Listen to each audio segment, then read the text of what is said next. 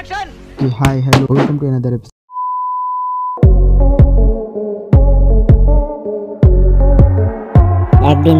পাখি আর তার বন্ধু মনু পাখি ওরা দুজনে সমুদ্রে স্টিমারে বসে যাচ্ছিল কিন্তু ওরা রাস্তা ভুলে গেছে যে আমরা কোথায় যাব তারপর টুনটুনি পাখি তার বন্ধুকে বলল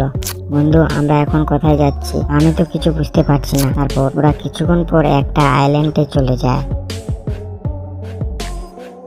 তারপর ওরা দুজনে ওখানে কিছু খাবার খুঁজতে থাকে কিন্তু খাবার দেখতে পায়নি তারপর টুনটুনি পাখি ওখানে একটা আম দেখতে পায় তারপর টুনটুনি পাখি বলল আরে বন্ধু আম কোথা থেকে আসলো এখানে এখানে তো আমের গাছ নেই তারপর তার বন্ধু বলল ওসব নিয়ে এখন কথা বলতে হবে না আমাদেরকে খিদা পেয়েছে চলো এই আমটাকে খেয়ে নি তারপর দেখি আমাদের যাওয়ার রাস্তা কোন দিকে